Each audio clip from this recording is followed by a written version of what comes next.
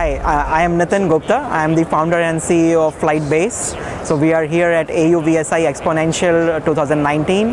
So today what we are exhibiting is FlytGCS. So this is our product that we have launched at AUVSI. This is the industry's first product you know, which is compatible with any drone hardware.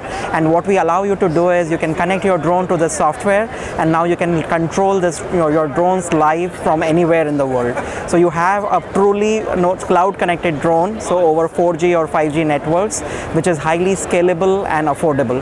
So you can you know, just buy a drone from Best Buy or you know, any drone hardware of your choice, connected to this platform and you know, control or get telemetry, get live video data, live streaming from anywhere in the world.